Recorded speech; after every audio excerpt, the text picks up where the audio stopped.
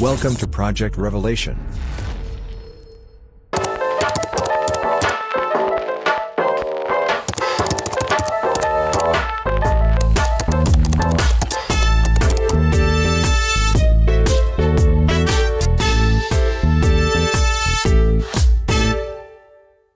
There was a document that is circulating right now. It's called the Wilson Memo, is what how you can find it online. Admiral Wilson meets with this scientist and they have this discussion oddly enough at special projects at EG&G. And if I remember the document is from 2001. I'm telling everybody right now, it's real. They meet at EG&G special projects. In 1989, they, they stumble into a problem. This happens, they put the technology away and then they bring it back out and see if material science has caught up and if they can make any progress. So this document kind of talks about this process. So this guy's an admiral, and he says, I, I found out about your SAP, your Special Access Program. I need to know about it. And he's going to a, a, a private part of industry, and he is denied access. Check it out. I'm telling you that that is an actual correct, that is a leak. This all plays out like a spy movie for sure. This allegedly leaked document records a conversation between two individuals Admiral Wilson and Eric W. Davis. But who is Eric W. Davis? Dr. Eric W. Davis is the Chief Science Officer of Earth Tech International and the Institute for Advanced Studies at Austin, and he is the owner and chief executive slash chief scientist of Warp Drive Metrics which does consulting and contracting for the Department of Defense. He is also a professor in the early universe, cosmology, and strings group at the Center for Astrophysics, Space Physics and Engineering Research at Baylor University in Waco, Texas. His research specializations and interests include breakthrough propulsion physics for interstellar flight, interstellar flight science, beamed energy propulsion, advanced space nuclear power and propulsion, directed energy weapons, future and transformational technology, general relativity theory, quantum field theory and elementary particle physics, condensed matter physics, quantum gravity theories, experimental quantum optics, and SETI contact, and xenoarchaeology. Eric Davis is an interesting individual to say the least. He works on advanced propulsion systems and teleportation. In addition to that, he is a student of cosmology and he also studies something called xenoarchaeology.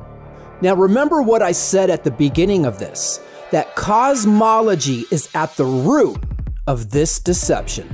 Xenoarchaeology is a branch of xenology dealing with extraterrestrial cultures.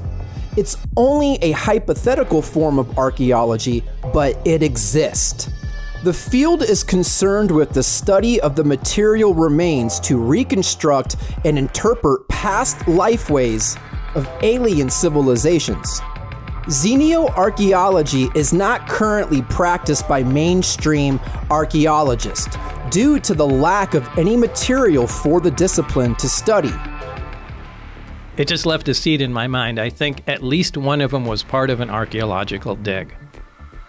So it's old. Something one at least one of them is old. I don't know if it was the one I worked on, but I remember something to do with an archaeological dig. Let's go back to the top secret conversation between Davis and Admiral Wilson. Admiral Wilson and Eric Davis are talking in the car in the back parking lot of the EG&G building. This conversation is pretty weird. They talk about crashed and retrieved UFOs that came with alien bodies. Wilson is trying to figure out where the recovered spaceships are being held. Davis will only tell Wilson that a popular private contracting company has the material. Eventually, he tells him that this private contractor was reverse engineering something that was found years ago and they believed it could fly not only in the air, but in space, in water, and it could even traverse dimensions.